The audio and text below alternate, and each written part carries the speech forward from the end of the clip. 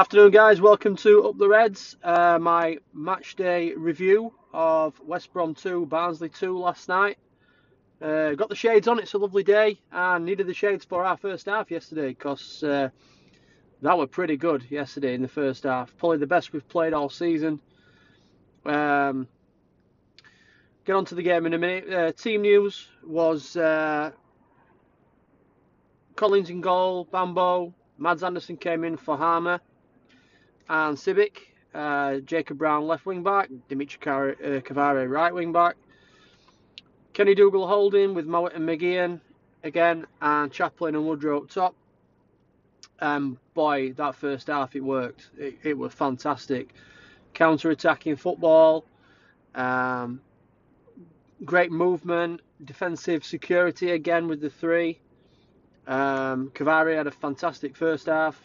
Uh, energy all over the pitch. Uh, just energy all over. The desire to get a result there against all odds. I mean, the odds were crazy last night. I think uh, West Brom were one to eight to win. So that puts into perspective what people thought were going to happen last night. In my uh, match preview, I thought that we'd, you know, I wanted us to compete, but I didn't expect any kind of result there at all. And it's uh, it's testament to the way Adam Murray's got the team set up. He's uh, they're doing the they're doing the simple things very well. Um, it broke down the second half a little bit. Uh, Bambo made a, slight positional error. It was unfortunate on goal. Um, but you know, then after that, the pressure told. Just after that, Kenny Dougall couldn't last any longer either, and with no light for light replacement on the bench, um, the the holes in midfield really started to appear. So even though at 2 0 at half time, um, completely ecstatic and would have liked to win that game, uh, we, we could have lost that game at the end due to the the lack of midfield cover. Uh, bringing bringing Wilks on for um, Kenny Dougall just didn't. It, you know, Wilks doesn't work very hard in defensive areas. Um, for me, he would only be brought on in case one of the front two wasn't wasn't functioning or there was an injury or something. Um, but yeah, I, you know, it was unfortunate that we just couldn't. Once the stem came, we couldn't stem the flow after a while, and uh, I think if we look back on that, if we if we look back on that and we stay up, I think we'll see that as an awesome point. It were it, it were a good performance. Um, Mads Andersen looked great. Actually, he came in. He did, he did nothing wrong. Uh, again, he looked more supported in the three.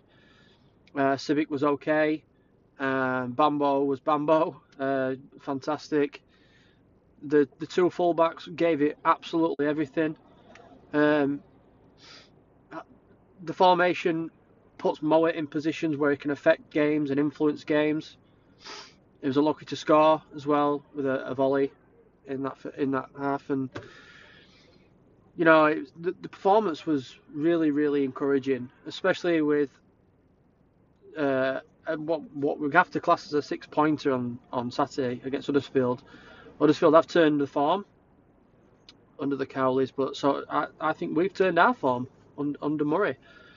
Um, I think it's a bit early to say whether Murray's going to get this job full time or not.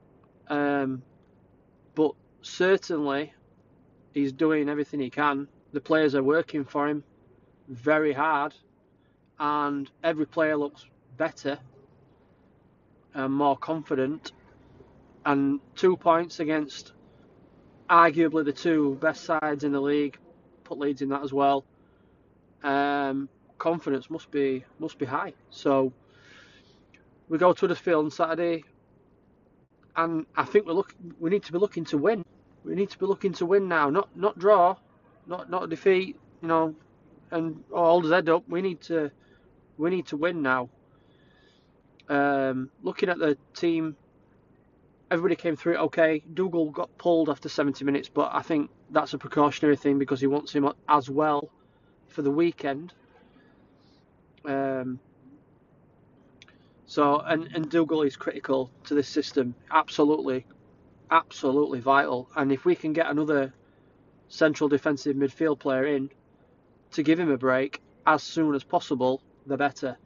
If it's a freebie, anyone just just to take. If he can't last 90 minutes, then having someone on the bench who can do the same job, even if it's an older player, just for 20 minutes, has got to be worth doing. I was a bit surprised that Styles wasn't um, on the bench. He did start for the under 23s, as I mentioned in my preview, and that surprised me a little bit because he is the only one who can sit like that and do the same job as Dougall positionally. So that was a bit surprising. But overall, um, Murray's tactics are good. The selections are good. Um, I'm happy. I'm very happy. Looking forward to the weekend. I've not looked forward to the weekend for a long time. Fingers crossed we get we're positive at the weekend. But you, you, know, you look forward at the fixtures. I think we've got Middlesbrough coming up as well. We've got Stoke coming up. Um, we've got Bristol City home as well, and even you know, every side in this league has is dangerous. Um, but I certainly feel more happy going into those games, looking at his defensive structure. So we we move forward, and and you know, long may this optimism continue. Um, yeah, so I'll uh, I'll I'll do a match preview again on Friday for the Huddersfield game. Um, if you like this video, like, sh- uh, share, and subscribe.